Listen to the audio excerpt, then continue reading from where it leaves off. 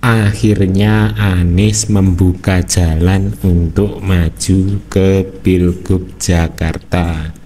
Apakah Anies takut tenggelam hilang semua suaranya ketika tidak menjadi apa-apa? Eh, tapi jangan senang dulu, Anies nggak bisa menang mudah karena ada lawan-lawan yang kuat Salah satunya siapa lagi kalau bukan Pak Ahok. Mari simak videonya. Gini soal turun kelas. Hmm. Memang ada yang setara sama pilpres. Hmm. Nah, ada. Kembali ke kampus, kalau cara pandangnya begitu, ya turun kelas. Okay. Pak Prabowo dari presiden terpilih menjadi menteri turun kelas. Okay Pak Muhaimin dari Sawapres menjadi ketua PKB turun kelas. Hmm. Kalau cara pandangnya begitu semua turun kelas. Okay. Itu cara pandang yang keliru. Hmm. Itu menganggap capres adalah posisi. Hmm. Pilpres itu posisi bukan. Pilpres itu kompetisi. Dan kompetisi itu ada awalnya ada akhirnya. Berangkat dari posisi okay. A ke Pilpres. Saya beri ilustrasi. Mbappe, Messi ikut Piala Dunia Oke, sampai final tuh dua-duanya. Setelah selesai Piala Dunia, itu tinggi-tingginya pertandingan sepak bola. Terus begitu selesai, Messi, Mbappe jangan ikut Piala Eropa dong. Anda turun kelas. Kenapa? Itu pertandingan olahraga itu beda mas Bukan, dengan pertandingan saya, politik. Cara pandangnya okay. itu, jangan kita menganggap bahwa itu seumur hidup. Hmm. Seumur hidup capres enggak capres sudah selesai kok. Mau capres-capresan terus enggak dong. Hore, bandingin capres dengan bola.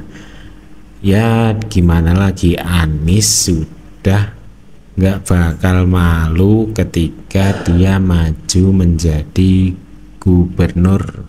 Dia nggak mengelak turun turun keras kelas atau turun jadi calon presiden menjadi calon gubernur mengibaratkannya dengan Messi dan Mbappe main bola dari piala dunia ke piala Euro. Bukannya Messi itu nggak ikut Euro ya Pak?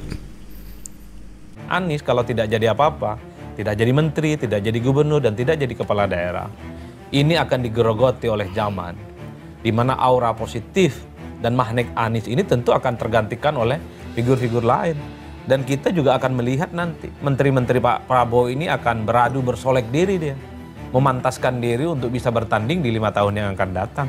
Apalagi yang ada di dalamnya itu adalah ketum-ketum, sekjen-sekjen yang sangat kelihatan sejak lima tahun yang lalu, sejak 10 tahun yang lalu juga punya intensi untuk bisa maju di Pilpres.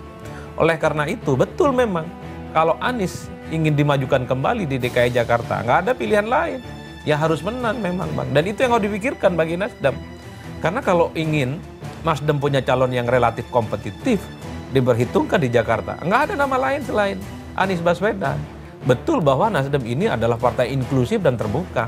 Tapi selama Nasdem membuka diri bagi Anies, mengidentifikasi Anies sebagai sosok yang paling prioritas, orang lain mundur, Pak.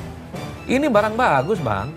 Mau dilawan pakai apa pun susah menggeser posisi Anies ini.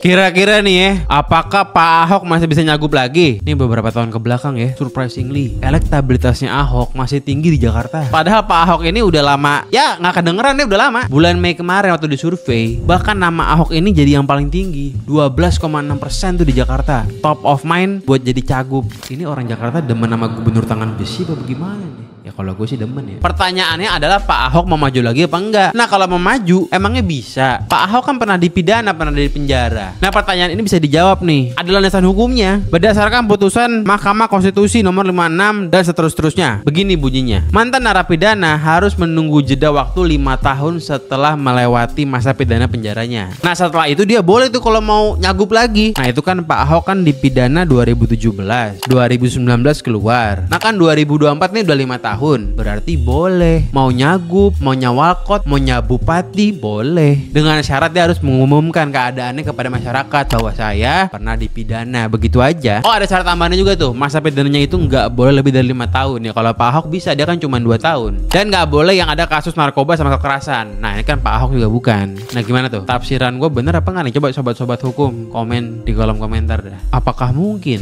PDI bakal majuin Basuki Cahayapurnama? Bakal rame lagi nih kalau Ahok maju lagi pertanyaannya emang Pak Ahok mau Bagi saya Anies sangat tidak negarawan.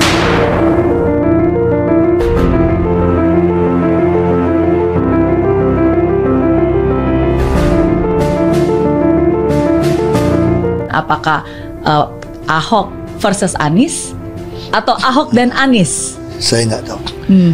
Yang pasti bagi saya tidak ada cerita Ahok dengan Anies. Hmm. Ketika saya kalah, saya langsung kasih Anies penghargaan, ucapan segala macam. Itu desk again. Hmm. Kamu menang pun seizin Tuhan kok. Hmm. Tapi yang tidak bisa saya terima, ketika Anda menang, Anda pidato memecah belah bangsa. Hmm. Bahwa Jakarta udah kembali ke pangkuan pribumi yang dijajah selama ini. Hmm. Itu teksnya di mana-mana. Itu sangat memecah belah bangsa.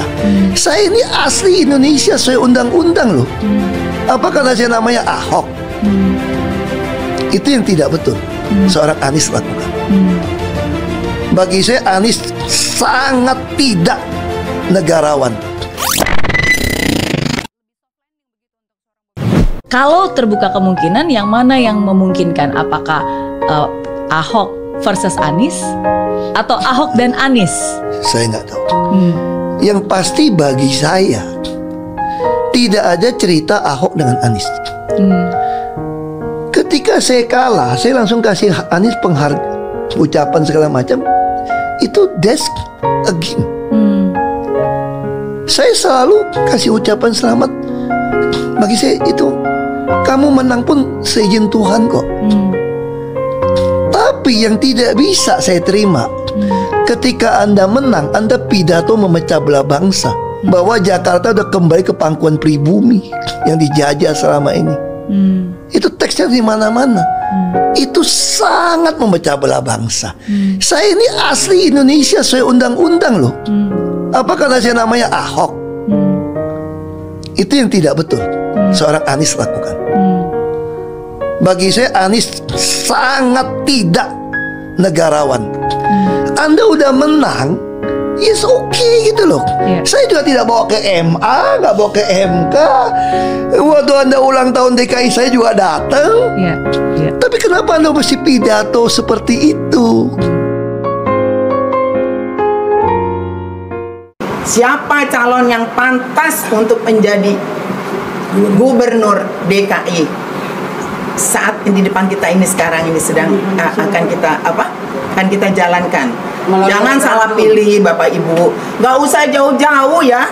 Insya Allah ini usulan Bu Jati aja pribadi nih ya mohon maaf. Kalau memang mengikuti saya sangat harapkan. Ada satu orang yang luar biasa yang menurut saya tokoh yang luar biasa yang berani yang amanah dalam segala hal sudah mumpuni apalagi dalam bidang agama. Ya mungkin semua bisa menebak siapa itu beliau adalah Profesor Dr. Egi Sujana setuju nggak kalau kita tunjuk gubernur DKI secara secara independen ya secara independen kita tunjuk Berarti kalau secara yang pertama secara independen nggak pakai partai ya? Nggak, nggak, nggak, nggak usah. Nggak ada urusan sama partai. Nggak usah, nggak usah. Aspirasi yang pertama mendukung Egi Sujana Masta menjadi Gubernur DKI Secara independen. secara independen. Berparlemen. Ya, ya itu dari aspirasi dan kami siap apa pun kami akan kerjakan demi Kalau Egi. problemnya, Nah. problemnya ini saya tidak GR ya, tapi sangat berterima kasih atas takdir Allah. Amin amin. Karena tidak Insya Allah. mungkin kalau Allah nggak izinkan ini Ah. keluar tuh nggak mungkin. Amin amin amin. Jadi pertanyaan seriusnya, kalau memang mau dukung, pengetahuan saya, saya pernah jadi calon gubernur Jawa Timur Ya. tahun 2013.